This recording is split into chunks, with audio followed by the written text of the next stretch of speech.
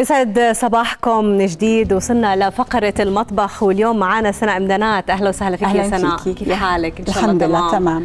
هلا بيكي. اليوم حتعملي لنا شغلات شوي آه، حلوة عن الزعتر. أنا بحب الزعتر صراحة. الزعتر الناشف كثير بحبه. فرح تعملي كيف بنعمل الزعتر الأخضر ومع السمسم ورح تعملي لنا كمان مناقيش بالزعتر وصينية حلبة. أكيد. آه، كل هدول حنلحق نسويهم اليوم. إن شاء الله. إن شاء الله. أكيد. طيب رح نبلش أول شيء بالزعتر صح؟ يلا. طيب خلينا ناخذ المقادير. مقادير الزعتر الناشف. محتاجين ل واحد كيلو زعتر ناشف زعتر أخضر منشف ومفروك 100 جرام كراوية مطحونة 100 جرام كزبرة محمصة ومطحونة 100 جرام شومر مطحون 100 جرام عين جرادة مطحونة 100 جرام سماق مطحون 200 جرام سمسم محمص و200 جرام قمح محمص مطحون و200 جرام قضامة صفرة مطحونة. وملح حسب الحاجة. كل هدول بنحطوا كل؟ هدول. هلأ هذا الزعتر اللي هو منشف ومطحون ناعم. عادي اي خلاط عندك بالبيت. فيك تستخدميه تطحنيه بيطلع ناعم. هي إحنا نخلطه. هلأ أنا عم بعمل كمية قليلة غير عن المقادير. هذا القمح اللي هو القمح مثل ما هو. لا مسلوق ولا إشي بس بنحمصه وبنطحنه آه. بس بتحمصيه وبتطحنيه بس بحمصه بطحن وكم معلقة بدك تحطيها هلا هو المقادير موجودة بس أنا آه، صراحة رندا بالنظر بشتغل شغلي بس حطيت لهم المقادير لل... هاي الإقضامة الصفراء الإقضامة اللي هي بالتسالي بالنطس الكل بيعرفها أكيد. آه بنطحنها كمان. مهم. نعم. ما بتضيفي لها شيء بس اقدامه بس إقضام الصفراء المحمصة اللي بناكلها إحنا بنطحنها نعم. في عنا السماق السماق البلدي كمان. أنا بتعامل مع كل إشي بلدي. بحبه. سبحان الله نكهته غير. غير طعم صح. السمسم. طبعا السمسم محمص بعد ما يكون آه، مغسول ومنشف.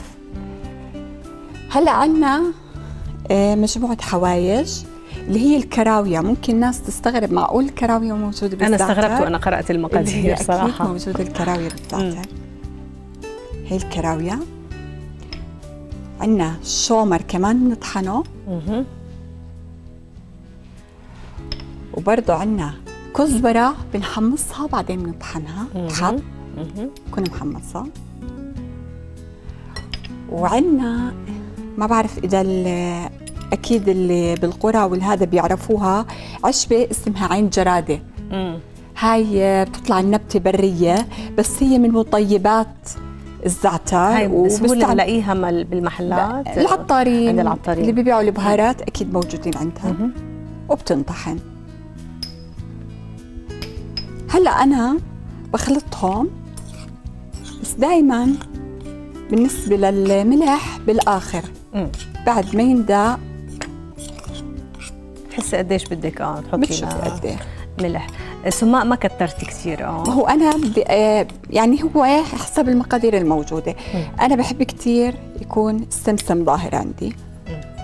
بيعطي قرشه هلأ هاي هي مكونات الزعتر أحكي عن شغلة في بعض ناس آه بالنسبة للاقضامه بالذات آه إذا بدهم يخبوا أو يخزنوا الزعتر لمدة طويلة بفضل إنهم يستغنوا عنها بالوقت اللي بيستعملوا لأنه ممكن آه يتغير طعمتها إذا يعني بدهم اياه طولت. لمدة طويلة. مم. نفس الشغلة في ناس بيفركوا الزعتر بزيت قبل وهو ناشف بينفرك بزيت زيتون.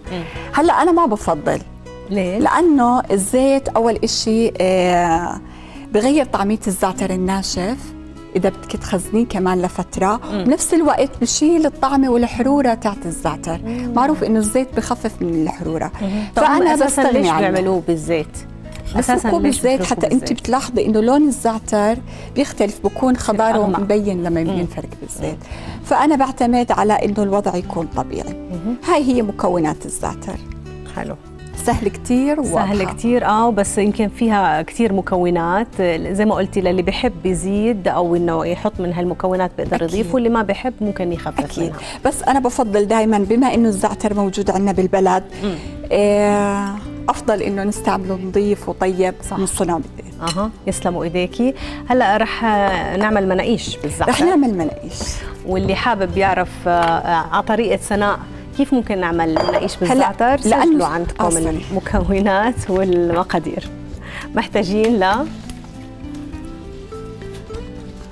محتاجين لزعتر أخضر زي ما اللي عملت لنا إياه سناء من شوي وزعتر ناشف سماق بصل زيت زيتون وبندورة وجبنة بيضاء بالنسبة للعجين ثلاثة كوب طحين القمح واحد كوب طحين أبيض نص كوب لبن رايب نص كوب زيت زيتون ومعلقة كبيرة خميرة فورية ومعلقة كبيرة سكر ونص معلقة كبيرة ملح وماء فاتر للعجن.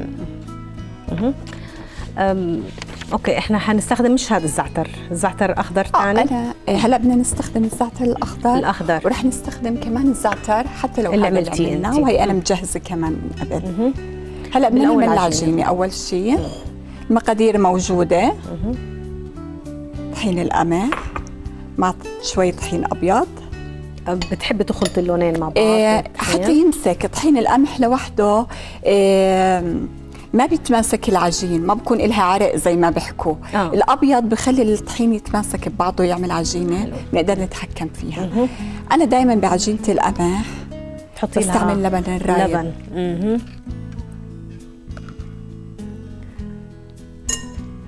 اللبن بخليها تتماسك أكثر يمكن تصير طرية وبيعطي. طعمية كمان أها. كتير طيبة وبرضه زيت الزيتون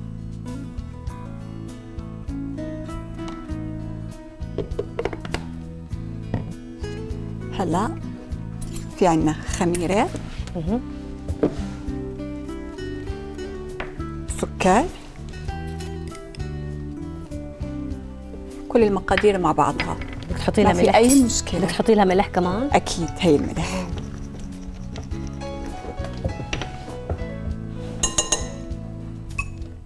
هلا نستخدم بالعجن إحنا مية دافية. اول بنخلط المواد.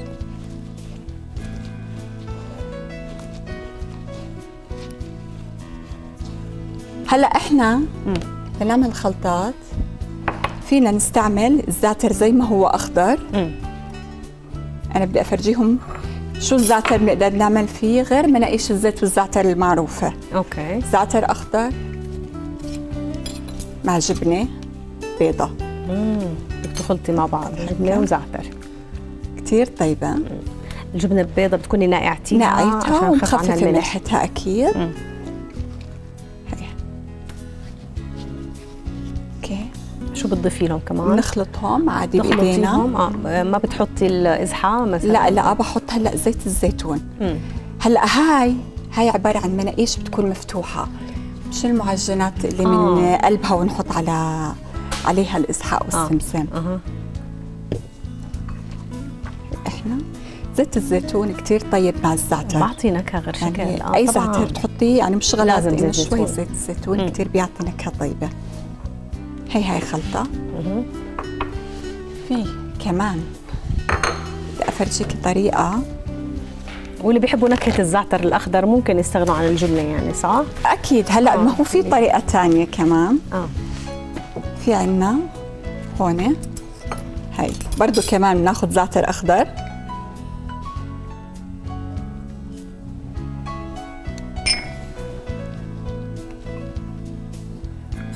مع بصل. البصل أنا. بكون فارمته وحط آه. عليه زيت.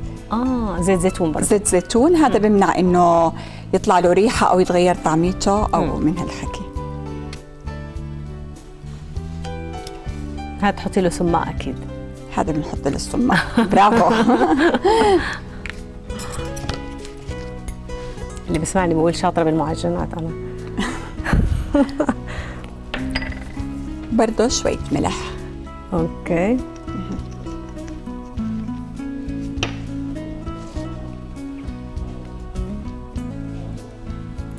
بدنا نصبح على كل اللي عم بيتابعنا وبعت لنا كومنتس تعليقات وتعليقاتكم كلها آم، حلوة. شكرا لكم هاي دليل محبة. متابعتكم لنا أكيد آه، دليل محبة. وبنفتخر بكل شخص آه، صار صديق لرؤيا وبرنامجنا تحديدا دنيا يا دنيا.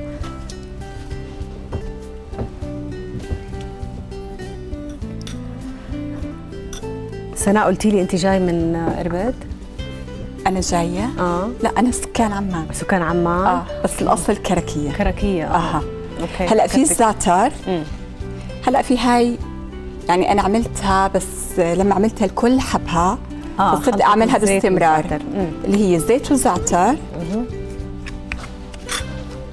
رندا ما بتصدقي قد إيه هاي طيبة؟ بتضيفي لها بندورة. آه تحطي لها بندورة؟ ما بتصدقي لا هاي جديدة. عندي. بميتها. أوكي. آه كثير طيبة.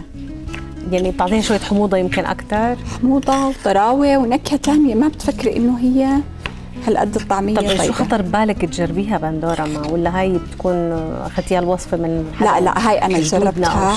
كان عندي بواقي زعتر بالصدفة وعاملة إشي فطبقته مع بعض. فلما طلعت عندي الطعمية طيبة فقررت إني أستخدمها بوصفات المعجنات عندي. يا عيني. وبرده كمان إنه نخلط الزيت والزعتر للمناقش. حلو. كثير سهلين. تقدر تستخدميهم بأي شيء. استخدمتي كله زعتر أخضر وزعتر ناشف. حلو. عندك عجينة جاهزة لل إيه هلا إيه أنا بقدر أفرجيهم. آه. ما بدها إشي.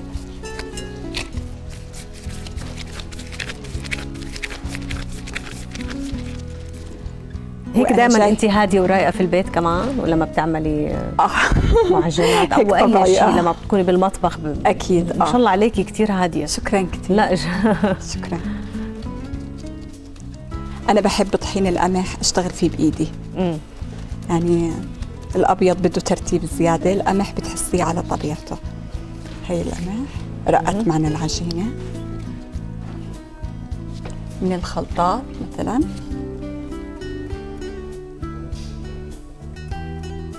هذا البصل وال- والزعتر بتضطري إنك تسكريه.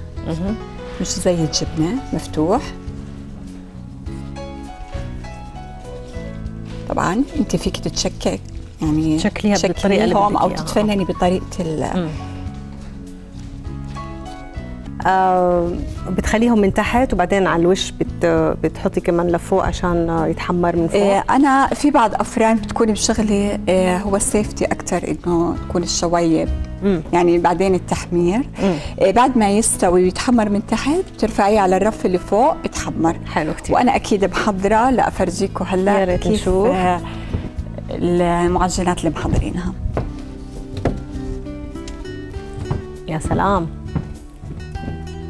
مناقيش على أصولها. على أصولها. آه والله. يسلموا ايديك نقدمها بالغربال إحنا كمان. لأنه طريقة القمح- جديدة. الغربال بتعرفي شو الغربال؟ آه طبعا. كانوا آه، ينظفوا فيه القمح يغربلوا فيه القمح. مم. يسلموا ايديك يا سناء جد إشي مشهي. يعطيكي ألف عافية. إحنا هلأ رح نتوقف عند فاصل. من بعد الفاصل رح نعمل حلبة صينيه حلبة على أصولها. على أصولها، وعلى طريقة أكيد. سناء. خليكم معنا بعد الفاصل.